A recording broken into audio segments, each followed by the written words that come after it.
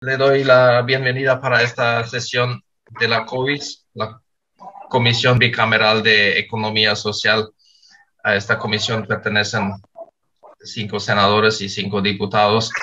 Eh, esperamos que algunos eh, en pocos minutos se pueden conectar. Sabemos que a fin de año están todos con muchas actividades. Además, estamos con esta sesión sesionando a una hora que a veces parece un poco temprano, pero finalmente el horario en donde eh, un espacio en donde hay menos sesiones, menos superposiciones, entonces decidimos mantener este horario, eh, aunque no todos pueden participar. Eh, pero todo lo que se presenta, lo que se habla acá, se graba, se publican a través de radio, TV, cámara y también eh, se socializa en los medios sociales del, de la Cámara. En, tal sentido, eh, no depende solamente si participan en forma eh, en, directa en esta, en esta sesión. Señor gobernador, una vez más, bienvenidos y agradecemos su predisposición de presentarnos un poco de su gestión, un resumen de su gestión de los últimos tres años. Sabemos que fue un año, eh, ya más de un año muy especial por el tema de la pandemia. Em, y esta comisión, en esta comisión tratamos de, de, ver cuáles son modelos de desarrollo em, con enfoque social, de, desarrollo económico en, eh, o, o, de una zona. Y y nos damos cuenta que los gobiernos locales juegan un rol sumamente importante. Eh, ellos no trabajan con la gente, están cerca de la gente y su objetivo no es, no es la ganancia como lo hacen empresas privadas. Eh, ya tuvimos acá también presentaciones, informes de, de una serie de cooperativas en diferentes zonas, pero justo de ahí nos vino la, eh, no sé si la, idea, es lo correcto, pero eh, nos dimos cuenta que las gobernaciones eh, que están presentes en, todo el país, las 17 gobernaciones que juegan un rol sumamente importante y por qué no publicar, darles un espacio para que publiquen lo que están haciendo. Casi solamente se publican en los medios lo negativo cuando algo no funciona, eh, donde de repente hay un, un, problema jurídico, una malversación. Y los gobiernos locales eh, nos damos cuenta que en realidad hacen, aportan muchísimo para el desarrollo de, de, su zona. Y en tal sentido, una vez más, agradeciéndose, señor gobernador, por su tiempo. Esto no no es un, un control que hacemos que estamos haciendo, sino simplemente darles el espacio para publicar, comunicar, compartir lo que ustedes están haciendo en, su departamento. Entonces, sin más eh, palabras, les damos la, la palabra, palabra, palabra, la oportunidad al gobernador Juan Carlos eh, Vera Báez del departamento de Guaira. Adelante, gobernador. Muy, muchas gracias, mi querido Edwin. Estoy acompañado acá con la señora licenciada Sandra Rúa, que es la ahora, Enrique Cantero, de gabinete. Y juntos hemos organizado un resumen de lo que hemos hecho en los últimos tres años en cuanto a la economía social en que se desempeñó el acá nuestro gobierno departamento. Mientras tanto, también dando la bienvenida al, al diputado Pastor Emilio, que se conectó, está viajando diputado es presidente de la Comisión de Ecología. Eh, bienvenido, diputado. Entonces, eh, participando en la presentación del gobernador de Guerra.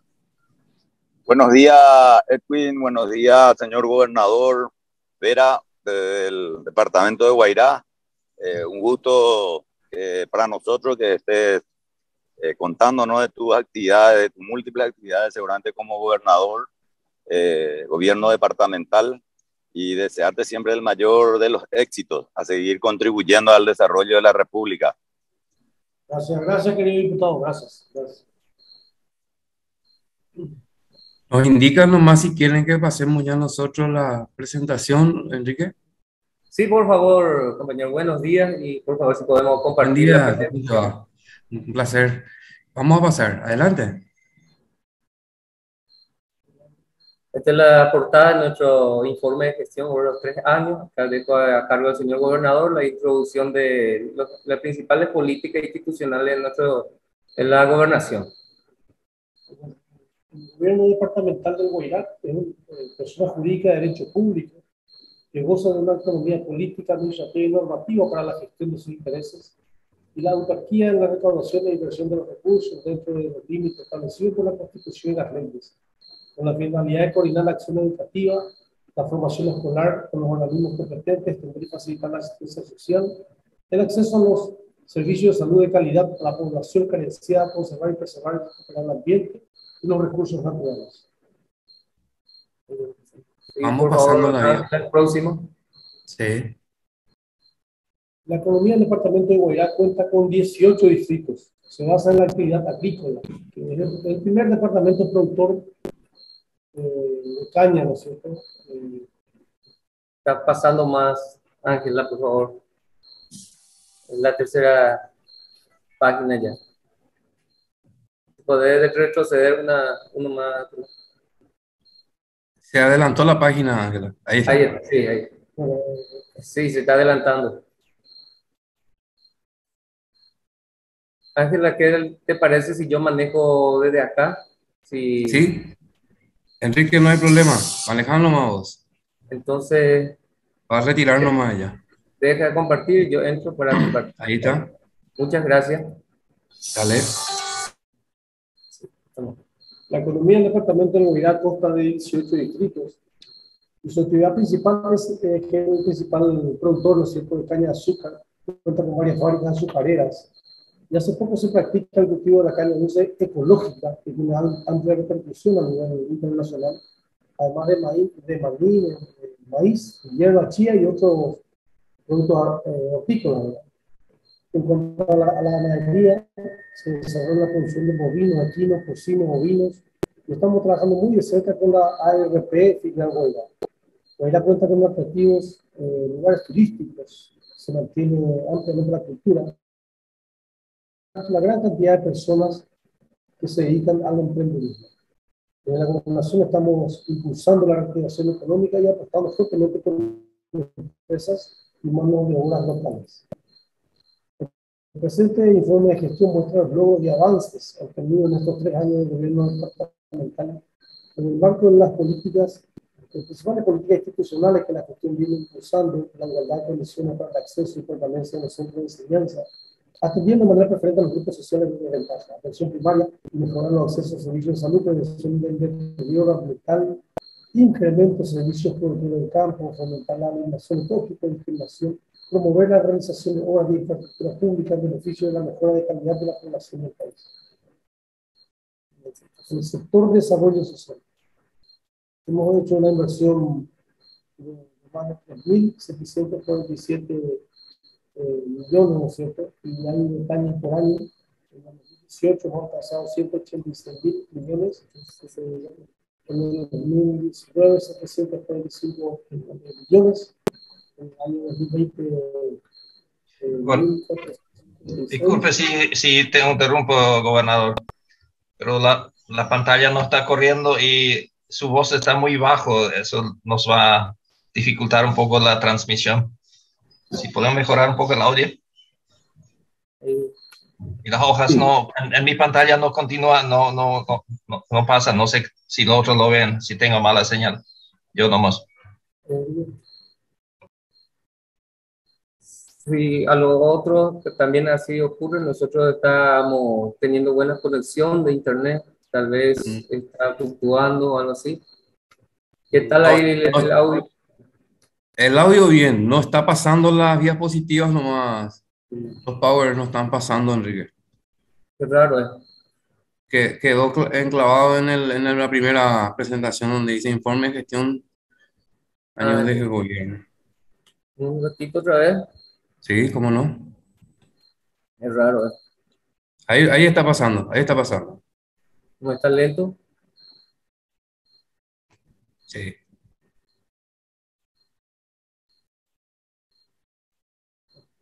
¿Qué parte? e Inversión total ahí.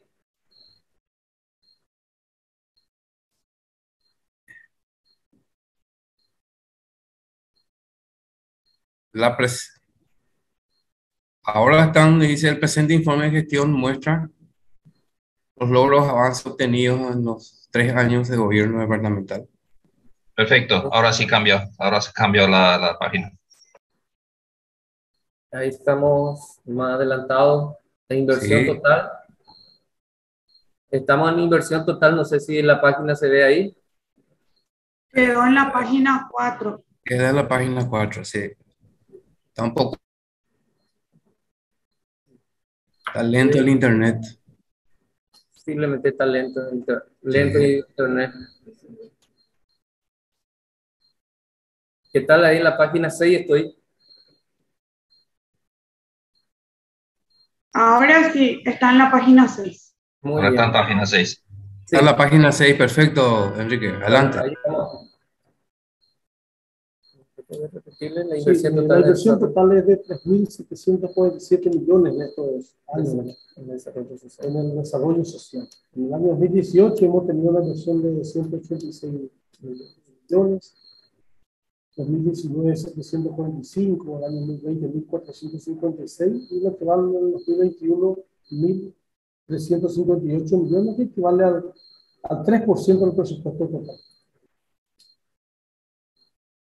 Eh, esto se ha ayudado a personas escasos recursos de forma directa a través de la ayuda social. eh, más o menos hay 2.693 beneficiarios en entrega de kit de alimentos a personas vulnerables, de ollas populares, asistencia víveres, chapas, colchones, mantas, ayuda en albergues, compra de medicamentos de farmacia social, estudios clínicos, ecográficos, traslado enfermo en ambulancia, asistencia a comunidades indígenas, eh, 13 comunidades con 700 familias. ¿Estamos bien para estar avanzando? En- Enrique, te solicitaría un poquito, al señor gobernador lo escuchamos muy despacio. Él se puede acercar más a vos, porque a vos te escuchamos perfectamente, pero a él lo escuchamos muy despacio. Esto pues se graba también. Sí. Sería ahí- importante que este, el gobernador tenga también un audio importante así de, de voz que salga perfectamente, porque le escuchamos muy de lejos. Muy bien. Ahí va a probar. Sí. Bueno, eh, continuamos con el fotos de desarrollo social, en la entrega de diversos tipos de insumos, eh, de kit, muy de cerca trabajando con la pastoral social, con la iglesia. Eh, también en la cuestión de las ollas populares, hemos sido el ente que más ollas populares hizo en todo el departamento. Eh, bueno, la entrega libre y, y asistencia a comunidades indígenas que siempre nos ha destacado. Es la primera vez que una gobernación tiene su oficina eh, de asistencia a la indígena en toda la, era la gobernación de Guayana, la primera vez que se ha abierto una oficina eh, donde un líder indígena es el, el director, ¿no es cierto?, de, de- de nuestro departamento local de, de. Eh, el sector educativo hemos tenido una inversión importante porque equivale al 50% de nuestro presupuesto total. Donde más hemos invertido en el sector educativo. Eh, ahí, por detallado, tenemos eh, una inversión total de 59 mil millones. Por año hemos aumentado, ¿no es cierto? En 2018 hemos tenido 11.800, 2019 15.500, 2020 19.000, casi 800. Y en el año 2021 12.000 eh, poco más de 12 mil millones, ¿no que equivale al 50% del presupuesto total, eh, en la cual se ha invertido en- principalmente en la, infraestructura edilicia, eh, dándole mucho trabajo a mucha gente local, eh, donde han trabajado en, en escuelas, colegios, casi todo mano de obra local, en la refacción de dirección departamental. Y la primera vez, después de 50 años, que la Casa eh, de la Supervisión, que es la Dirección del Departamento de Educación, eh, nosotros le hemos eh, prácticamente cuando llovía, ahí adentro llovía más, y hoy por hoy tienen un hermoso local, eh, dejando como un legado importante para ellos, una casa totalmente refaccionada por la gobernación. La construcción del Colegio Nacional de Villarrica, donde han salido ilustres personajes, la primera vez que se ha invertido en ese colegio. Construcción de 22 aulas, bloques de aulas en distintas eh, escuelas de Villarrica, y construcción de nueve aulas en colegios del departamento. Refacción de 17 aulas y sanitarios. estamos en un proyecto de eliminación de todas las letrinas del departamento. Es la primera vez que se van a eliminar todas las letrinas del departamento de Guayana. Construcción de 7.000, más de 7.000 metros cuadrados integrados para acceso a instituciones educativas, murallas perimetrales, cuatro hermosos privados deportivos, eh, cocinas comedores, eliminación de letrinas. Así también se hizo el cambio del almuerzo por los kits de, almuerzo escolar. Cabe destacar que hemos recibido, eh, cuando asumimos 51 instituciones estaban eh, presupuestados por la gobernación para recibir el almuerzo escolar. Hoy por hoy, a, a nuestros años de gestión, estamos alcanzando 171 instituciones. O sea que hemos triplicado eh, la cantidad de escuelas que son beneficiadas por primera vez en el departamento de verdad, llegando casi a la universalidad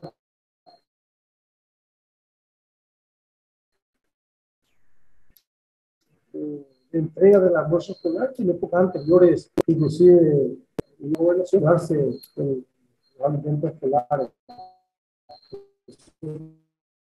Hemos cumplido fielmente eso.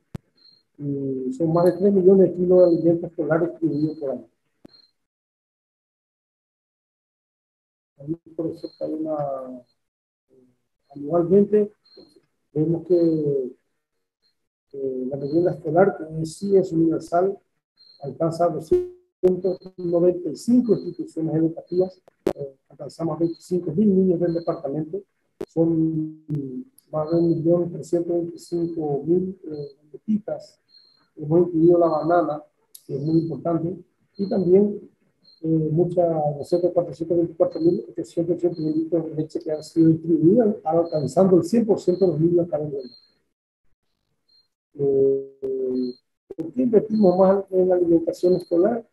Por eso se, se busca concretar una propuesta integral con enfoque de derecho universal, equitativo, sostenible en instituciones eh, educativas del departamento. Atendiendo las necesidades nutricionales de los estudiantes para mejorar y generar hábitos alimentarios saludables el alcance de los que alimentan a la familia en tiempo de pandemia que, vimos muy bien. Eh, hay algunas fotos donde está la supervisión, algunas aulas, eh, son construcciones que siempre tratamos de ser muy minuciosos en, la, en el control, de que se hagan bien las cosas, eh, tratamos de, de, eso, optimizar la, de que se hagan bien las construcciones, entonces siempre tratamos de inaugurar las, construcciones para que estemos seguros de la calidad de construcción.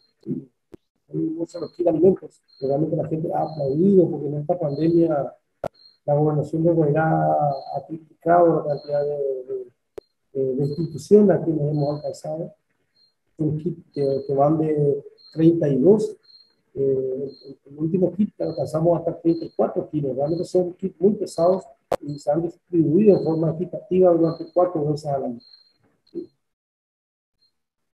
En el sector salud, eh, hemos hecho una inversión importante, casi el 12% de nuestro presupuesto total, con un poquito más de 13 mil millones que hemos invertido. En el año 2018, con 525 millones, en el 2019, 4.000 en el año 2020, 1.667 millones, en el año 2021, 5.427 millones de dólares.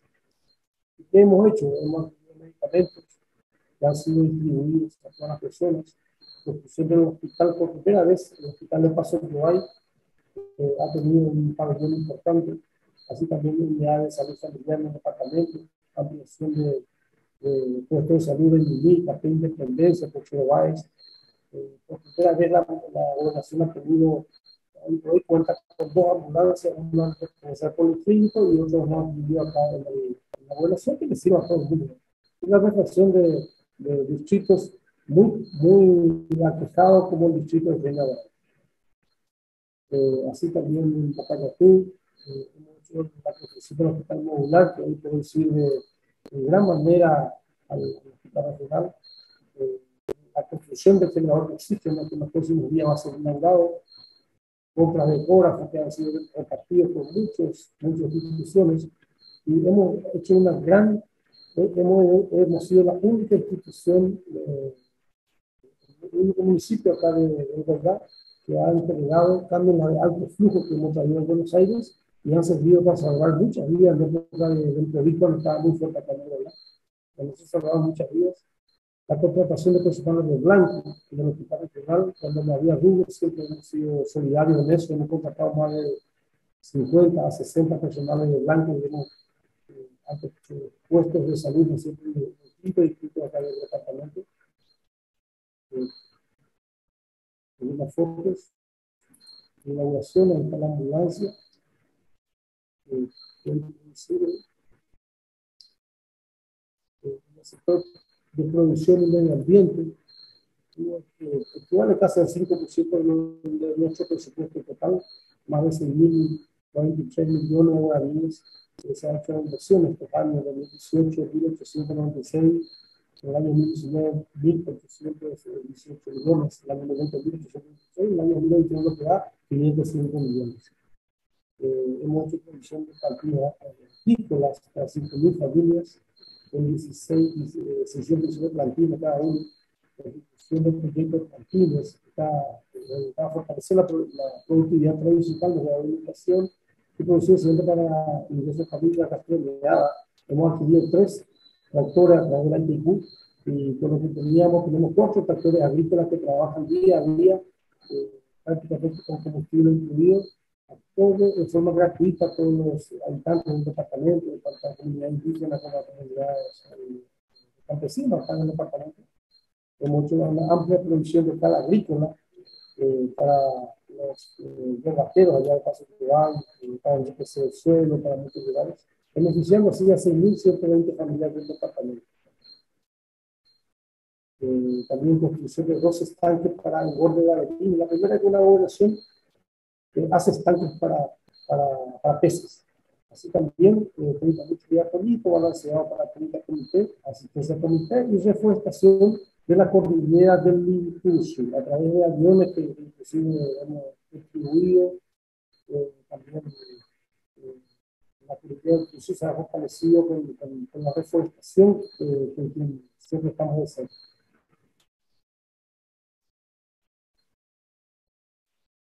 Ahí están las maquinarias viales.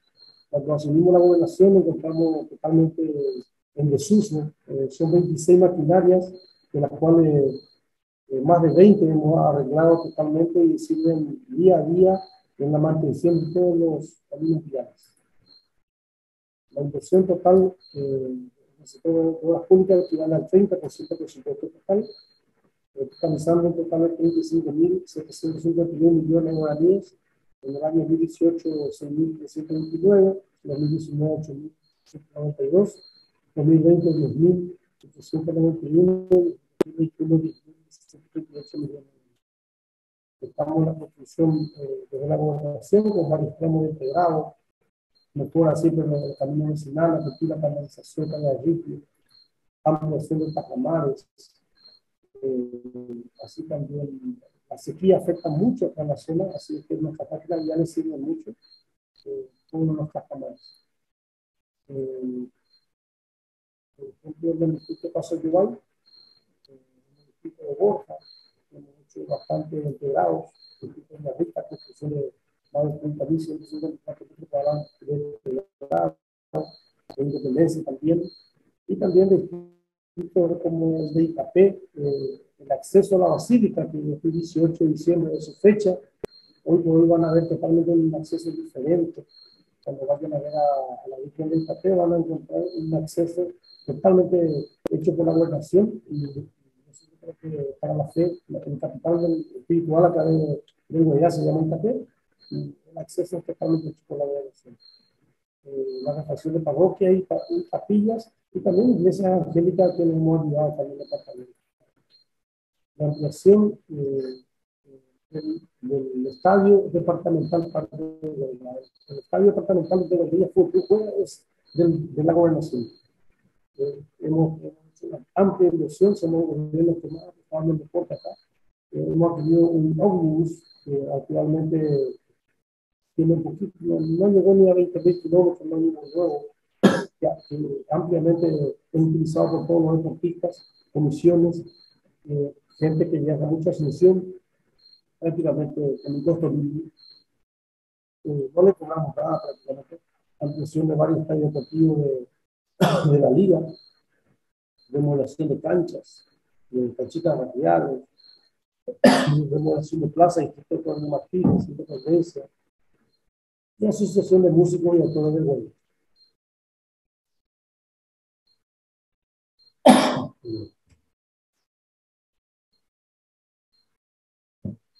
Eh, hemos contribuido mucho en la restauración de comisaría, somos los mejores amigos de los policías en este lugar, eh, contribuyendo siempre en las comisarías, en la canalización del distrito de Villarrica, en la fracción de Ilicia, la gobernación cuando asumimos está en un deterioro total ediliciamente por los conflictos acaecidos en la era de dos firmas en este lugar, eh, con paredes totalmente destruidas, mucho, muchas goteras acá en el edificio, eh, una junta departamental donde era dependiente, eh, baños totalmente en desuso, y todo eso hemos reflexionado en la gobernación. Hoy tenemos otra gobernación, eh, vamos a estar un legado importante para el próximo gobernador.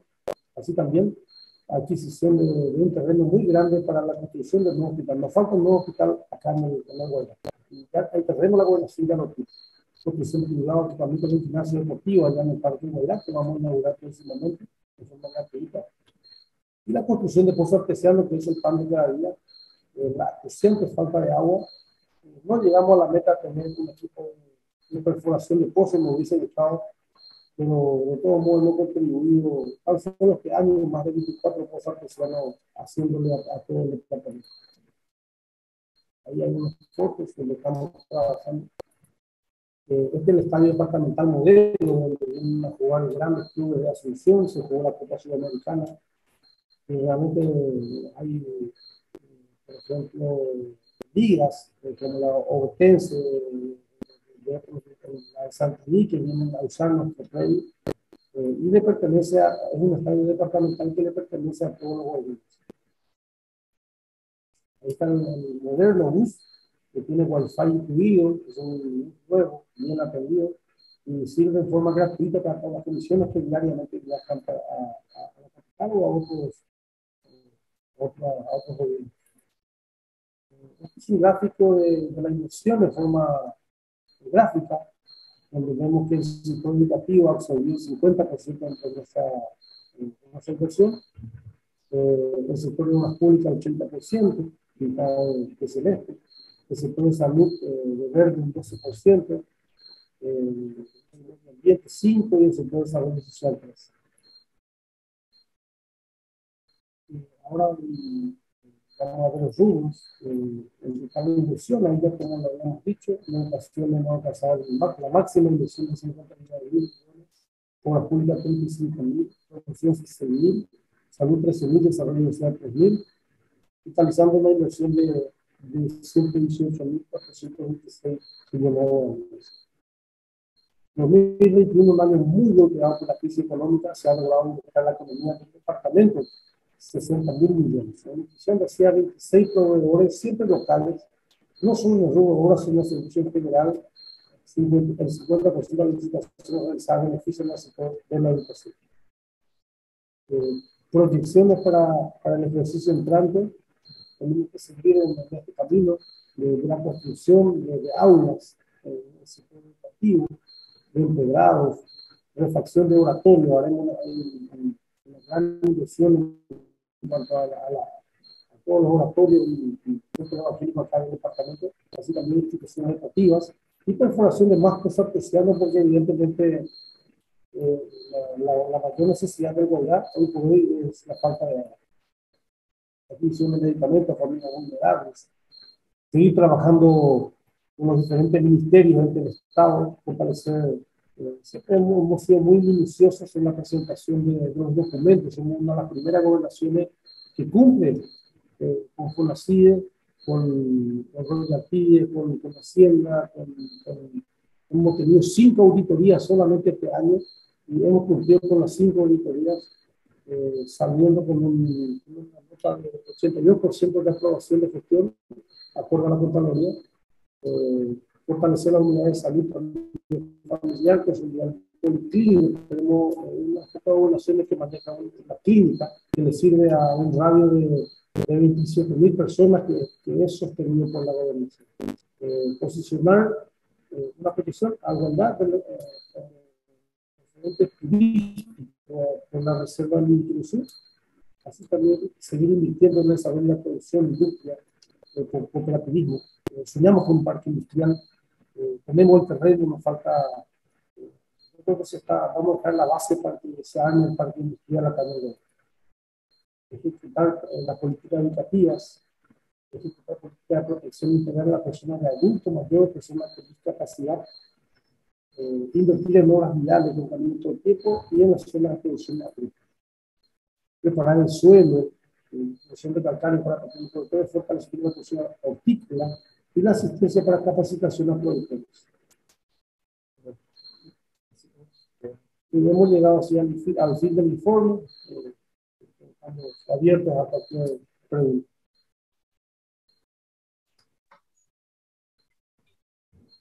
Muchas gracias, señor gobernador. Muy interesante, impactante su, su, su excelente gestión, señor gobernador.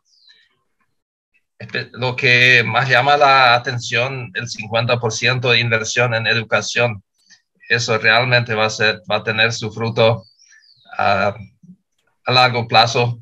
Eh, invertir en educación eh, muchas veces no, no, no, se pone en prioridad porque los resultados vienen, cosechan normalmente los otros y no, no los que invierten. Entonces, le felicitamos por esto. Eh, usted mencionó al comienzo que trabajan en forma también con, con la ARP y del, del, sector, de organizaciones del sector privado.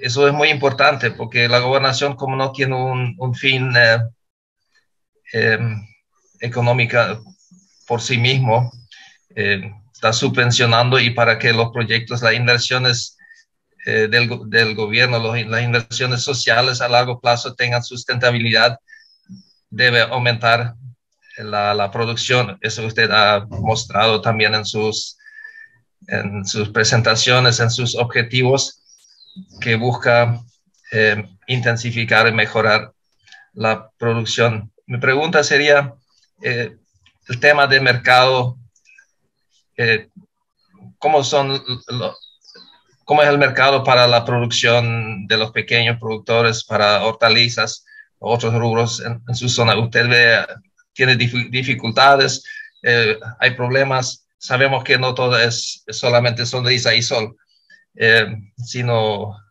tiene que luchar día a día. ¿Cuáles serían que usted ve también como dificultades, eh, señor gobernador? Sí, eh, acá en Villarrica, que es la capital del departamento, eh, prácticamente se concentra el 30% de la población del Guayna. Eh, existen dos mercados, dos mercados principales donde los pequeños productores vienen a exponer sus productos y eh, hay zonas, por ejemplo, de independencia, una comunidad que se llama Santa Rosa, que está en la cordillera del Intruso, que es la principal productora de cebollas. Eh, ahora están especificando en papas nosotros de la gobernación siempre proveemos de camiones para llevar y también de bolsas alquileras para eh, llevar sus productos al mercado de abasto. Eh, también eh, por, la, por las fábricas, eh, tanto de Petropar como, como de Aspa y otras fábricas de azúcar, eh, prácticamente absorben casi el 100% de toda la producción local de caña de azúcar se está por este 30 de, en estos días se va a hacer la parada inicial es una de las mayores fábricas también de una entidad privada, de la gente ahí en Hualco, que están eh, por invertir y hacer una gran fábrica de azúcar y alcohol en la zona de Independencia. Yo creo que eso también va a mover una economía muy importante. Eh, se está consolidando como, una, como un departamento industrial en cuanto a la producción principalmente de, de alcohol y caña de azúcar. Muy interesante. Muy interesante. Podríamos, sería interesante visitarla en algún momento. ¿Alguna pregunta de los participantes al señor gobernador?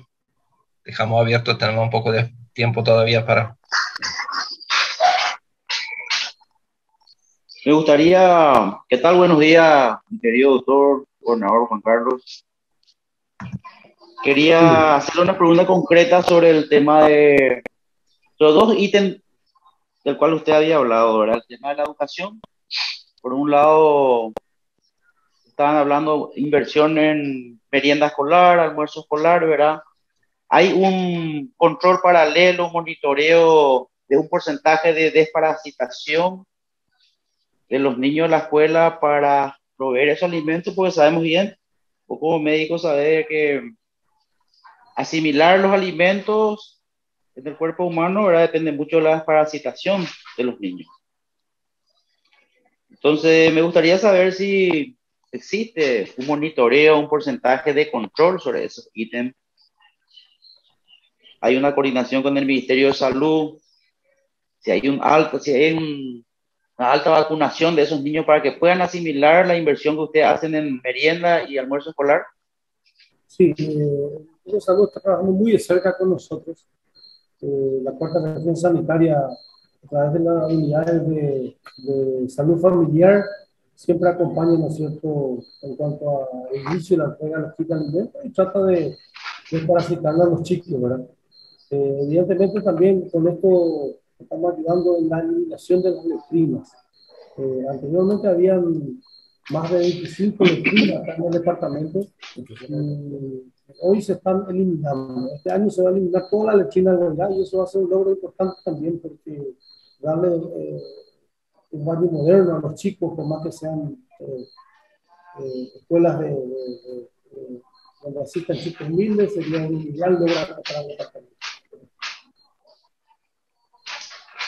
Y el otro ítem que quiero preguntarte es que la problemática que siempre vemos por las ciudades en los semáforos era el tema de los indígenas. Sí. Eh, bien mencionaste vos de que la gobernación es la primera vez que tiene un, una oficina de asuntos indígenas. Generalmente vemos que en los semáforos ellos están sentados pidiendo limona, aguantando la lluvia, el frío. Eh, hay un trabajo coordinado con el INDI, se le monitorea, por ejemplo, con las asistencias básicas en los asentamientos de estos nativos, eh, porque generalmente ellos migran hacia las ciudades ¿verdad? y dejan su, su hábitat natural, ¿verdad? Y, y deberíamos saber ¿Cuál es la problemática? Porque es algo que constantemente estamos viendo, ¿verdad? Y si a través de la gobernación, en coordinación con las municipalidades de ese in situ del lugar donde ellos habitan, si hay un trabajo coordinado, si tienen la asistencia básica, si tienen su escuela, su puesto de salud. Sí, eh, principalmente Gustavo, eh, eh, acá en el Guairá existen nueve comunidades indígenas de las cuales tres son de Colonia Independencia y seis son de Paso Global. Eh, eh, son más de 700 familias. No son estas personas, estos indígenas originarios de ahí, del Guadalajara, que vienen a manifestarse en Villarrica en los semáforos. La casi el 100% viene de casa, la zona ahí estaba ahí, ahí, cosas de esas regiones. Y realmente lo que nosotros siempre hacemos a través del departamento indígena es asistirle a ellos eh, darle para su pasaje de vuelta, tratar de por lo menos darle un alimento. Eh, hay un albergue ahí dentro de la gobernación misma, en el subsuelo, donde cuando hace frío siempre le hemos albergado, le hemos dado una comida decente. Eh, asistido, ¿verdad? Son enfermedades varias, pero realmente una problemática difícil de, de, de sostener. Nosotros, particularmente, asistencia así en las comunidades, sí tenemos acceso a las de igualdad. Eh, la de Paso Yoay y la de Independencia, por ejemplo. Esta semana pasada hemos conseguido la, la, mediante gestión, la electrificación de tres comunidades. Después de muchos años de lucha, por fin eh, el presidente Félix Sosa a iniciar la electrificación de comunidades muy alejadas de, independencia, eh, que van a servir para tres comunidades. Un puente también en Vegas Cueque, Paso Yoay, y también el arreglo de caminos vecinales y la provisión de, de víveres para todos ellos que la gobernación ha prohibido. Pero para los niños que vienen de, de Casa Paz, realmente una problemática eh, ya es eh, de otro departamento, lo que podemos hacer por ellos es solamente brindarle eh, algo temporario, ¿verdad? Como sea pasaje, le ponemos inclusión de vehículos para llevarla a, sus comunidades. Eh, también cuando hace mucho frío, hay inclemencia del tiempo. Genial. No, por eso te, te, estaba preguntando por el tema de las coordinaciones con el, con el, el que tiene que tener un monitoreo de los nativos de los diferentes departamentos y no solamente con nativos, tenemos casos también de la salud mismo que viene de otro departamento donde tenemos que eh, amortiguar y acolchonar eso, ¿verdad? Yo te agradezco, te hice esa pregunta, ¿verdad? Para que la ciudadanía, acá los amigos también de la Cámara sepan, ¿verdad? Del manejo. Yo sé de tu buena administración a nivel departamental, ¿verdad? A mí me toca ir muy cerca como guaireño, por eso te estaba preguntando, pero muchas veces cuando andamos por la ciudad, pues vemos algunos ítems, ¿verdad? Y muchas veces nos preguntamos ciertas cosas o las, las personas mismas que transitan nos preguntan por qué están acá, por qué esto, ¿verdad? Entonces es importante que se aclare estas cosas, ¿verdad? Para transparentar tus gestiones, de tus buenas gestiones que venía haciendo. Te agradezco la información y es todo lo que yo podía preguntar hoy. Gracias. Gracias, doctor. Ángela, solicitaste la palabra. Adelante. Sí, buen día, gobernador. Yo también tengo sangre guaireña, mi mamá es de Paso Yobay. Y justamente a través de la gobernación, ¿qué podemos hacer para recuperar los arroyos de Paso Yoay? Hace mucha falta. Eh, yo creo que acá tiene que eh, el MADE, ¿verdad? debería intervenir más en Paso Yoay. Realmente nosotros de la gobernación tenemos poca injerencia ahí. Eh, yo creo que el Ministerio Público también a través de, de la Fiscalía Medio Ambiente, realmente hay una amplia contaminación. Yo como médico he visto crecer eh, yo soy un médico neurólogo de profesión y he visto mucho más pacientes con enfermedad de Parkinson que antes, por ejemplo.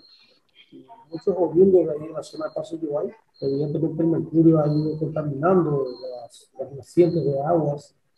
Eh, nosotros, gran parte de los habitantes acá del Guaidá y parte de los ríos consumen, a través de la Cocosana, consumen el agua, eh, ¿no es cierto?, del Tehuicadí y sabemos que el agua de Caribe es, eh, su naciente está en gasolina ya de Paso Bay, así es que realmente es una problemática que a la larga puede generar muchos problemas.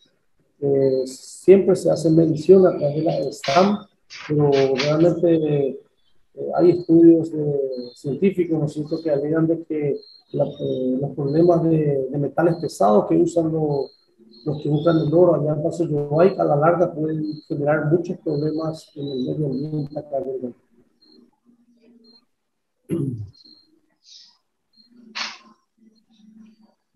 Señor gobernador, tengo una consulta con referencia a cómo ha encarado la gobernación del tema de la pandemia, del COVID.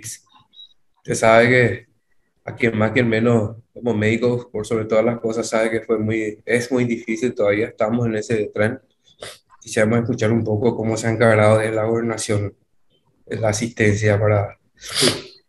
Hemos, hemos hecho, así como hace rato dije, los aparatos de alto flujo que salvaron muchas vidas han sido proveídos por la gobernación.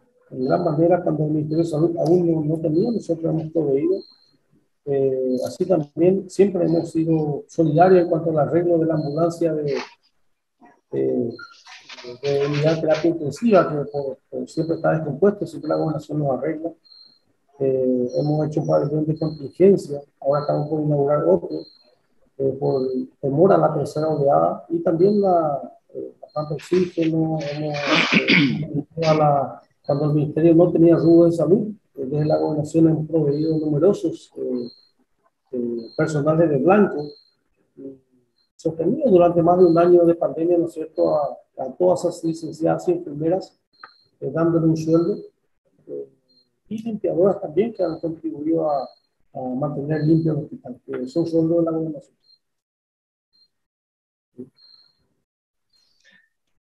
Muy bien. Gracias, eh, gobernador, también a todos los participantes por, eh, por la participación. Realmente muy informativo.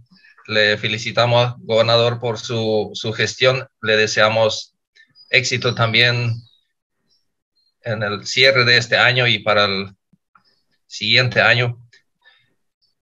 Esta comisión siempre está a disposición de ustedes si necesitan algo, si tienen algún tema que quieren que sea difundido, una audiencia pública. Esa comisión bicameral está a disposición de ustedes. Eh, esto es tal vez un, así un primer contacto. Eh, tanto a la gobernación en particular como al Consejo de Gobernadores estamos dispuestos a intermediar, ser el nexo hacia, hacia las, eh, las dos cámaras, tanto senadores como, como diputados. Em, si tienen de repente un, tema legislativo, una, una preocupación que, que se socialice o se discute un tema, estamos abiertos y a disposición a ustedes.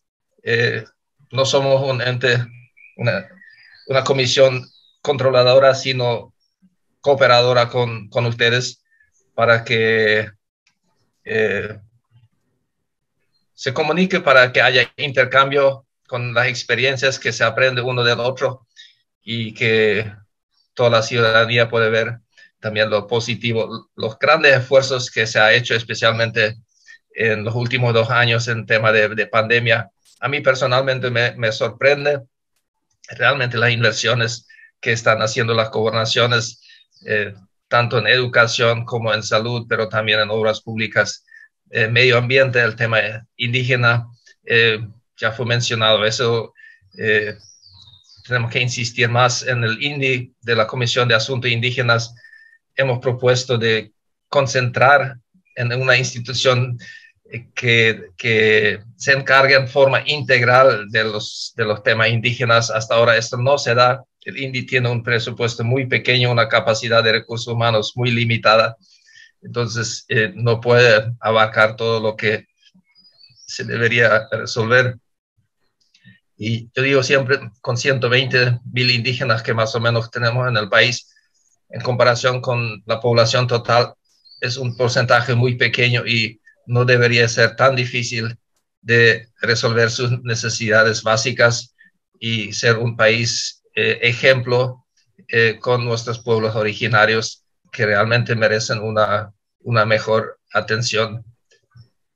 Nada más por hoy y eh, una vez gracias por, por, la participación de todos ustedes y que tengan un, una linda jornada.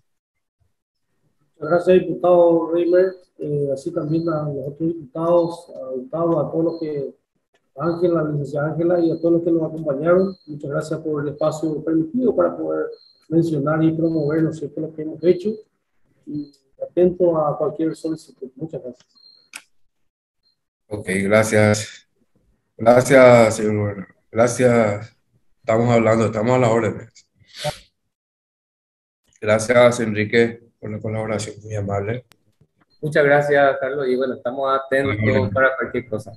Estamos en comunicación, muchas gracias. Hasta luego. Gracias, compañeros. Estamos hablando, gracias, doctor. Estamos hablando, Rosana, Edward, Ángela.